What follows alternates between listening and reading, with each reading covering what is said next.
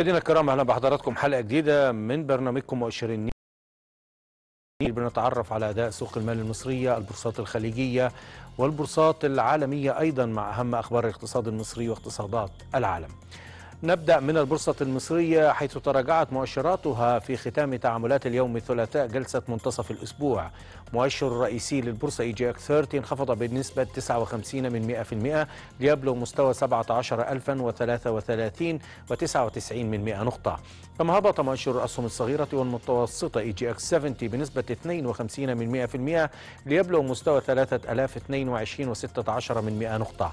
امتدت التراجعات لمؤشر EGX 100 الأوسع نطاقا الذي خسر نحو 58 من 100% من قيمته ليسجل 4580 و57 من 100 نقطة.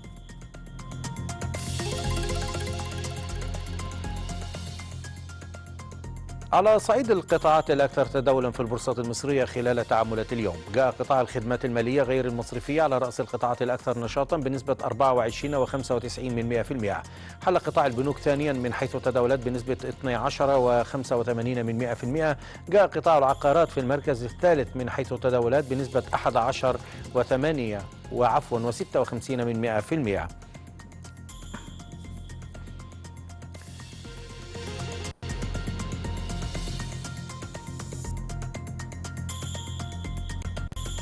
هذا وقد انخفض رأس المال السوقي لأسهم الشركات المقيدة بالبورصة بنحو الأحد عشر مليار جنيه ليصل إلى مستوى تريليون ومائة وعشرة مليارات وسط تعاملات كلية بلغت بقرابة ثلاثة وثلاثة من عشرة مليار جنيه. هذه التعاملات تضمنت تعاملات بسوق المتعاملين الرئيسيين وصفقات نقل الملكية فيما بلغت تعاملات سوق الأسهم نحو المليارين واحد من عشرة من المليار جنيه.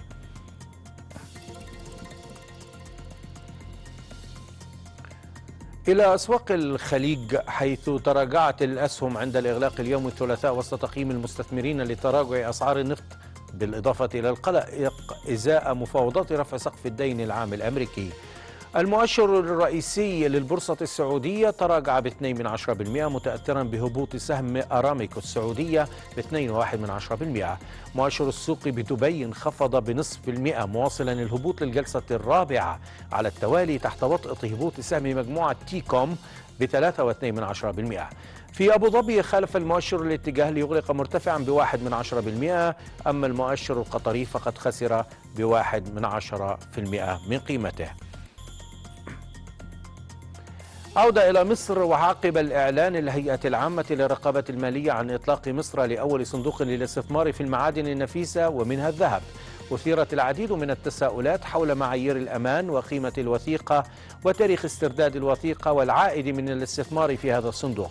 كل هذه الأسئلة طرحتها مراسلة النيل لم يأموافي على كل من رئيس الهيئة العامة للرقابة المالية الدكتور محمد فريد ومدير مؤسس الصندوق أستاذ أحمد أبو السعد. مع إعلان الهيئة العامة للرقابة المالية عن إطلاق مصر لأول صندوق للاستثمار في المعادن ومنها الذهب. أكد دكتور محمد فريد رئيس الهيئة بأن هذه الصناديق تعد فرصة استثمارية وادخارية تلبي احتياجات مختلف فئات المجتمع بشكل يساهم في رفع مستويات الشمول المالي وكذلك التحوط ضد المخاطر بتقلبات الأسعار. أعتقد المنظومة بتكمل بأدوات استثمارية مالية بأصلها في معادن نفيسة. أي مستثمر يقدر إن هو ينوع استثماراته ما بين الثلاثة أنواع من هذه الاستثمارات بصورة رئيسية. وهذا لم يكن ليحدث إلا لو كان اكتمل الإطار التنظيمي من تنظيم وتسجيل الشركات المرخص لها بعملية الاحتفاظ بالذهب أو تخزينه علشان والمتطلبات التكنولوجية ده من جانب وأيضا المتطلبات فيما يتعلق بوثائق التأمين ومختلف الأبعاد عشان تأمن المستثمر لأن يمكن الاختلاف الرئيسي في هذا هذا الصندوق عن الأدوات المالية المعتادة الناس يعني أو المتعارفة لدى جموع المستثمرين من عقود مستقبلية أو عقود خيارات وكده. إن في حقيقة الأمر هو الذهب متاح للمستثمر إن هو يقدر يحصل عليه فيزيكلي أو يأخذ هذا الذهب فعليا من الصندوق في حالة الرغبة بيقدر يأخذ هذه الكميات اللي هو بيتطلبها وفقا طبعا لمحددات طالعه في نشرة الاكتتاب. من جانبه أكد مؤسس ومدير صندوق الاستثمار في المعادن ومنها الذهب أن وثيقة الاستثمار ستبدأ بعشر جنيهات وأن الاسترداد متاح نقدي وعيني بحيث لا تقل قيمة عن 50 جرام ذهب. هو بيخلي إن مقتنياتك من الذهب في شكل كشف حساب. النهارده حضرتك عارفة إن التعامل في الذهب بيبقى بفلوس كاش فالنهارده في ناس كتير مش حابب مش حابة التعامل الكاش. ولما بتاخدي الذهب فانت احتفظي بالذهب عيني في شكل أي شكل سبائك مشغولات أي حاجة وتبقي شايلاها. فحضرتك مش عارفة حتى عنصر الأمان فيه عامل إزاي وفي ناس كتير بتبقى قلقانة من أي عنصر أمان خاص بكده. في نفس الوقت في ناس تقول لك طب أنا مش عارفة الذهب ده جودته قد إيه؟ هل فعلا كده؟ ده بتتبني بناء على ثقتك مع التاجر أو السائق اللي حضرتك بتتعاملي معاه. فبالتالي النهارده الصندوق ده بيتيح للناس كلها إن هي تستثمر في الذهب من خلال كشف حساب. ويأتي إطلاق أول صندوق الاستثمار في الذهب استمرارا لجهود الحكومة المصرية لبناء قطاع مالي غير مصرفي متطور ومحفز للنمو الاقتصادي. هذا وقد تم الإعلان عن فتح باب الاكتتاب في أول صندوق للاستثمار في المعادن النفيثة تطلقه مصر في الحادي والعشرين من مايو الجاري على أن يوفر الصندوق أعلى معايير الأمن والأمان للمستثمرين. لمياء موافي النيل. دعونا نتطلع إلى المزيد من التحليل حول أداء البورصة المصرية والبورصات الخليجية وتأثير هذا الصندوق على الاستثمار في مصر. معي عبر الهاتف الأستاذ إسلام عبد العاطي خبير أسواق المال. أستاذ إسلام تحياتي في البداية وأهلا بك أهلا بك يا أستاذ يعني خليني أبدأ بالبورصة المصرية. كيف تابعت أداء البورصة المصرية اليوم؟ هو طبعا الأداء النهارده كان يعتبر في نقدر نقول قدر كبير من الهبوط. كان في عمليات جني أرباح وضغط بيعي. يعتبر كان ملحوظ جدا. لكن ده طبعا مش الأداء الخاص بجلسة النهارده فقط ولكن الأداء الخاص بجلسة الأمس كذلك كانت بدات عمليات جني الأرباح إلى حد كبير إن هي تقود السوق لأسفل. والنهاردة يمكن نقدر نقول استكمالا للاتجاه العام اللي حصل خلال جلسة الأمس. ولكن خلينا نتكلم إن الانخفاضات في بداية الجلسة وحتى منتصف الجلسة كانت أكبر من الانخفاضات اللي إحنا أغلقنا عليها. يعني المؤشر الرئيسي كان منخفض بأكثر من 1% لدى الإغلاق يعني نسبة انخفاض تقريبا نص في المية فبالتالي يعتبر بدأ يقلص من الخسائر اللي كانت موجودة. طبعا إحنا عندنا كثير من المسببات لعمليات الانخفاض أو عمليات الضغط البيعي اللي موجودة. يمكن أبرزها طبعا إن إحنا عندنا نتائج الأعمال بدأت تظهر نتائج أعمال الربع الأول 23 آه بعضها يعتبر نتائج أعمال جيدة في ظل التحديات اللي بيواجهها طبعا الاقتصاد المصري. نعم. آه أغلبها تعتبر نتائج أعمال بنوك آه نتائج أعمال جيدة طبعا لأن البنوك من أكثر القطاعات اللي بتستفيد من التقلبات الاقتصادية الموجودة. ولكن على النقيض بقى في نتائج أعمال شركات أخرى لم تستطع إن هي يعني نقدر نقول تمتص الآثار السلبية للوضع الاقتصادي الحالي. أبرزها طبعا هيكون قطاع زي قطاع العقارات مثلا. بعض شركاته هتكون متضررة بشكل كبير من الركود اللي موجود في القطاع العقاري. فبالتالي نقدر نقول السوق بدأ إن هو يتعامل مع هذه الأخبار إن هو بدأ كجني أرباح ثم جني الأرباح تحول لضغط بيعي زائد شوية نعم. ولكن نتعشم إن إحنا نوصل يعني نكون وصلنا في الوقت الحالي للمستويات اللي إحنا نرتد منها مرة أخرى هو ما فيش خوف هلعي موجود في السوق ولكن كذلك تقفيلات المارجن بالنسبة لبعض الشركات اللي بتحاول إن هي تقفل مارجن اليومين دول ممكن خلال جلسة الغد إن شاء الله نبدأ نستعيد مرة أخرى الاتجاه التصاعدي واحدة واحدة كده ونبدأ إن إحنا نتجاوز المستويات نعم. اللي إحنا واقفين فيها في الوقت قبل ما ننتقل لاسواق الخليج اسمح لي أسألك على كنا بنتابع منذ قليل إطلاق صندوق الاستثمار في المعادن النفيسة وأكيد ده هيدخل في هي بورصة من نوع من الأنواع من الاستثمار فكرة تنوع الاستثمار وإن يكون في بورصة للمعادن النفيسة بورصة للأوراق المالية وإن شاء الله بكرة نشوف بورصة للبترول وغيرها من زي أي بورصات عالمية. ده في رأيك تأثيره إيه على الاستثمار في مصر والأسواق المصرية؟ هو طبعا إحنا أنا سمعت طبعا التقرير عجبني جملة كده إن إحنا أدوات مالية جديدة بتدخل السوق ده شيء يعتبر جيد بالنسبة للسوق. ولكن أنا عندي تعليق يعني على أتمنى طبعا إن الصندوق الجديد ده ينجح وإن يكون في أكثر من صندوق وإن الأدوات المالية تتنوع في السوق المصري ولكن خلينا بس نتكلم في نقطة محددة وهي. الاستثمار في الذهب إحنا عندنا المستثمر أو المواطن المصري العادي بيستثمر في الذهب ولكن الموضوع آه، أسعار الذهب عندنا في مصر هنا آه، متعلقة بحاجتين متعلقة بتذبذبات أسعار الذهب عالميا ودي آه، يعني نقدر نقول الذهب كان بيرتفع الفترة اللي فاتت في آه، عالميا نتيجة طبعا إن هو يعتبر من من أهم وسائل التحوط بالنسبة طبعاً. للمستثمرين وده طبيعي ده طبيعي في كل الأسواق إن هو بي بيتعامل مع السوق العالمي أو تذبذبات الأسعار السوق, السوق العالمية أكيد ده طبعا طبيعي. ولكن إحنا عندنا النقطة. الثانية اللي حضرتك عايز تذكرها نعم آه النقطة الثانية بقى إن إحنا عندنا أسعار الذهب في مصر هنا متعلقة كذلك بأسعار الصرف يعني إحنا نعم. دلوقتي يعتبر ب يعني مختلفين عن العالم شوية أو مختلفين عن الدول اللي أسعار الصرف عندهم مستقرة إن هم بيتعاملوا مع التغيرات العالمية فقط في الأسعار. نعم. إحنا هنا بنتعامل مع التغيرات العالمية للذهب وبنتعامل كمان مع التغيرات المحلية في أسعار الصرف. صحيح. فدي بتخلي دي بقى بتعمل حاجتين. الحاجة الأولانية إن بتخلي ال- ال- الموضوع آه، فيه مخاطرة عالية جدا للاستثمار في الذهب. وفي نفس الوقت مخاطرة عالية يعني ممكن يكون في أرباح عالية يعني اللي بيستثمر نعم. دلوقتي سواء في الصندوق أو في الذهب هو هي- هيحصل له حاجة من الاثنين يا إما ربحية عالية يا إما خسارة كبيرة لأن المخاطرة في في في, في ظل وجود متغيرين بالشكل ده تعتبر عالية.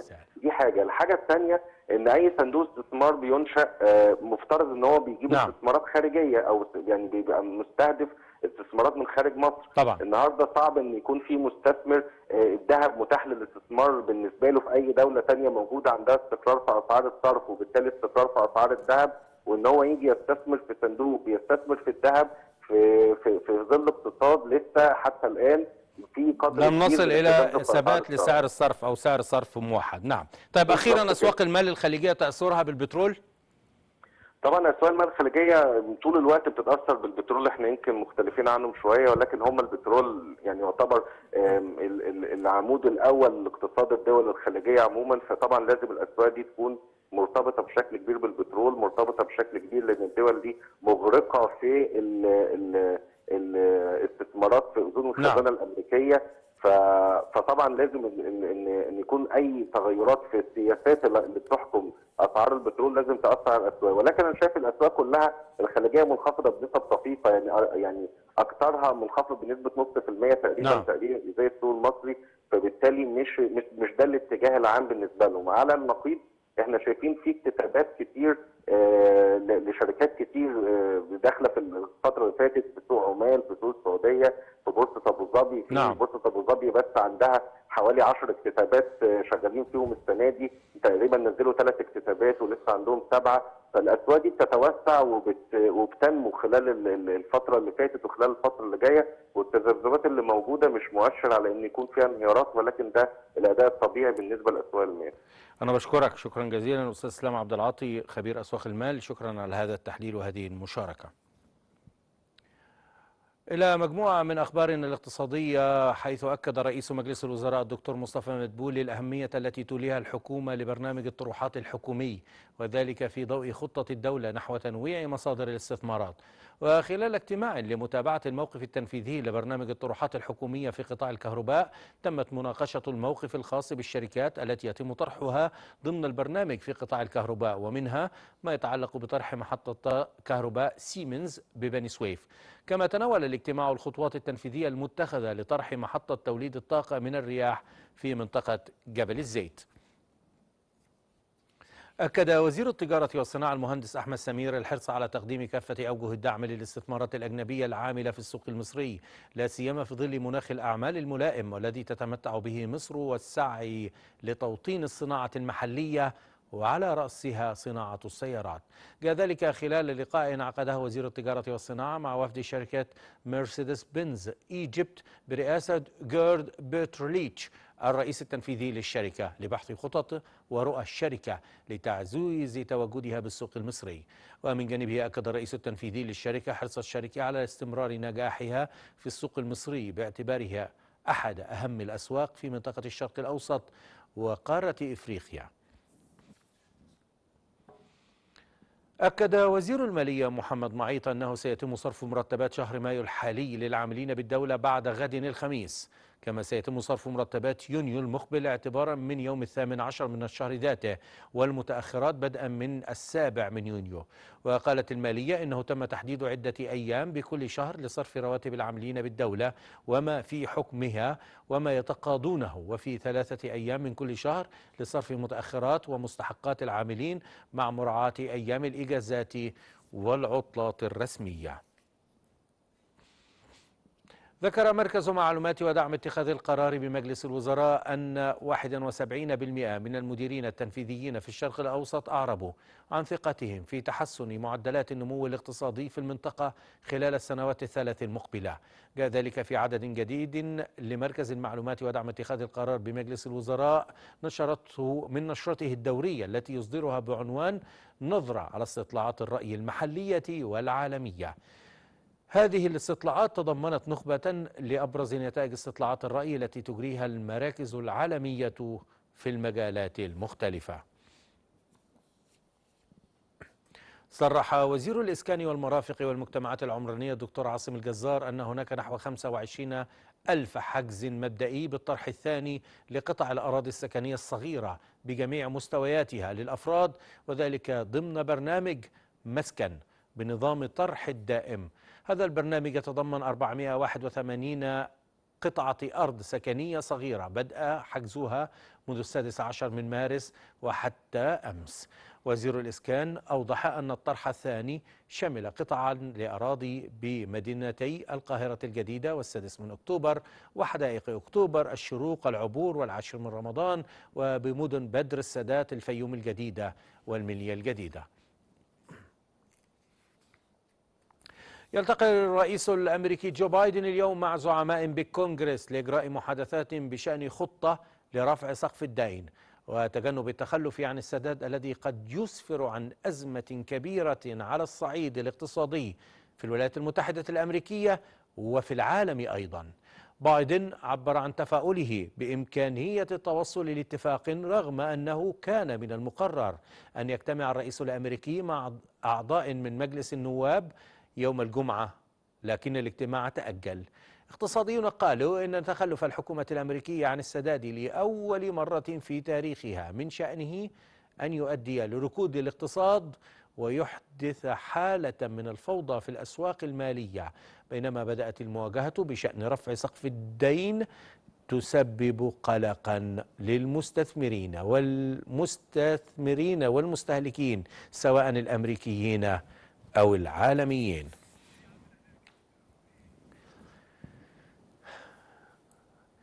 مشاهدينا الكرام إلى هنا انتهى مؤشر النيل بمجموعة من أخبارنا الاقتصادية المعالمية والمحلية. نشكركم دائما على حسن المتابعة. مع تحيات فريق عمل هذه الحلقة وتحياتي حسام الدين عاطف. إلى اللقاء.